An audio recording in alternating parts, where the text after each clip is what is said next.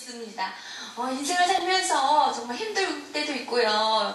뭐 아플 때도 있고 또 외로울 때도 있고 그럴 때 그럴 때마다 우리 가요축제 함께 하시면서 용기를 잃지 마시길 바라겠습니다. 네, 가요축제 여러분과 함께한 시간 이제 마지막 가수분 소개해드리면서 네. 아쉬운 작별의 시간을 또 어, 나눠야 되겠네요. 그럴까요? 네. 자, 오늘 이 아쉬움을 달래줄 분은요, 밤비나치를 노래하고 있는, 아, 불멸의 카리스마.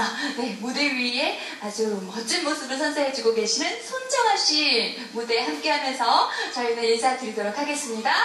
네, 저는 가수 우설민이었습니다. 네, 저는 길정화였습니다. 여러분, 사랑합니다. 별을